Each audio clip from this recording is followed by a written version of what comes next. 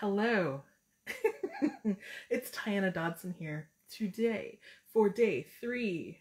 Oh, this is German three. Day three, English three of American three. I don't know. Day three of the Read With Me challenge. And I am wearing my very cool sunglasses because, um, well, because I'm having beer and pizza pizza. Ooh, with pineapples for dinner tonight. Um, because because I can because I'm an adult, and um, I have my sunglasses on because I feel like the story is heating up. Also, where we are right now is we are talking about Phaethon, who is the son of Helios, the god of the sun, um, and uh, Phaethon is is out doing the thing that his father uh, has granted him favor to do, um, which is he's leading the chariot of fiery horses across the heavens as a demigod. And um, yesterday we got to a place where, ooh, it was getting spicy. So I'm going to try to keep my sunglasses on, but they are polarized, so this is very challenging for me to read. But what I'm getting ready to do now is I'm going to get my timer set up because I didn't do that ahead of time. Haha. But okay, so here we go. Hmm. All right. So there was there was a lot of scrolling yesterday. All right. So here we go. Um, I'm gonna pick up where I left off yesterday. Reading The Forge in the Forest by Padraic Colum. All right. So to Phaethon, the horses. I didn't start my timer. To Phaethon, the horses were but tossing their manes. The bright wheels were but spinning as they should spin. He stood upright in the chariot, holding the reins, and he spoke. Are these the hands of one who has is half immortal? These hands that hold and guide the horses of Helios. But must men speak always of the horses of Helios? Would that there was a way of making men below wonder at their course today. Wonder, and then know that not Helios, but another, one younger and more daring than he, has hands upon the reins today. Plunging and plunging, the horses went farther and farther off their course. They went too far from their course in the blue heavens. Earth withered as they came too near. Fire sprang up, fire, and again fire. The trees on the plains crackled and dropped branches and burned. On the mountains and the forests took fire.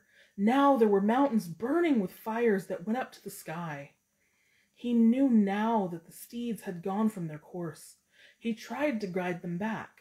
The fiery steeds turned savage eyes and bared teeth upon him.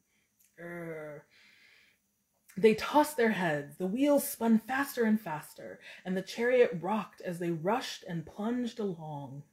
Fires went up in the cities of men. In the rivers and lakes, the waters dried up. Men lay dying upon the earth. The young man, Phaethon, knowing his hands too weak to guide them, shouted to the fiery steeds. Zeus, the ever watchful, saw Phaethon's course through the heavens, saw the plunging steeds and the fires going up on the earth, and he knew that all life must be destroyed by the horses and chariot coming nearer and nearer to the earth. Uh, light might be destroyed. He gathered the clouds together, making a veil between the chariot and the world of men, and the, then he flung his lightning on young Phaethon.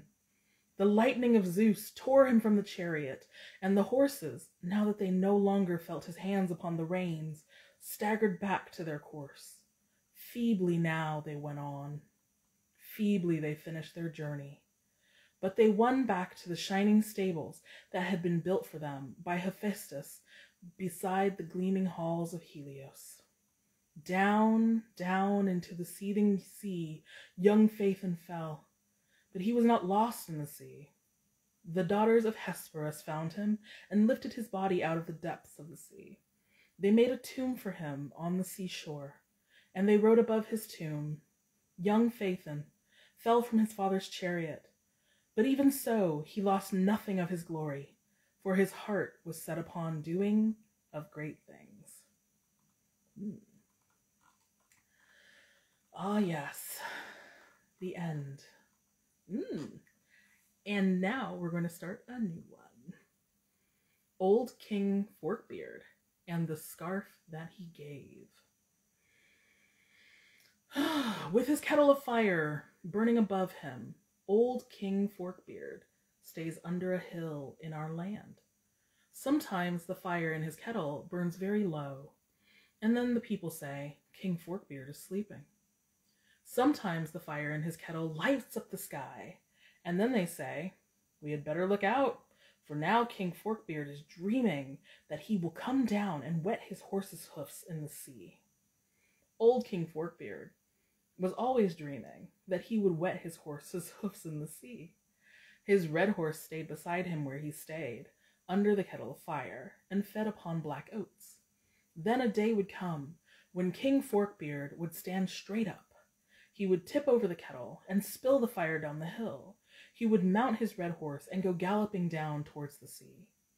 And our own horses, as King Forkbeard upon his red horse came along, would break out of their stables the goats would have gone first, and the horses would follow where the goats led. The cattle would go plunging about, the sheep would run up a hillside, the cocks would crow, seeing the redness from the kettle of fire. The hens and chickens would go flying from bush to bush, thinking that each bush would be the last they would have to fly to. The ducks would be lost the most quiet of all. They would find a stream and go swimming in it. The geese would remember they had wings. They would spread them out, and some of them would go flying towards the moon. And so old King Forkbeard, upon his red horse, would go through the land. On and on he would go, so that his horse might wet its hoofs in the sea. And many a good cornfield, mm, there's my time, I'll finish. And many a good cornfield and many a good grazing field he would spoil for us as he went upon his way.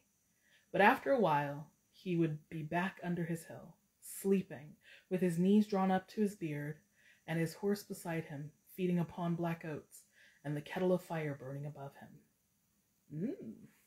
So that's where we're going to stop today with our five minutes of reading. Thank you so much for joining me. And if you'd like to join me to read for five minutes a day and practice getting your reading habit up, then feel free to join me and comment below that you're joining. Tell me what you're reading. Tell me how you're enjoying it. Tell me how it went. Um, or if you want to record yourself reading, then please do so because that's like lots of fun. I'd love to see it. Um, and use the hashtag, hashtag read with me challenge or hashtag instabook club. So thank you so much for joining me today. See you tomorrow. Bye.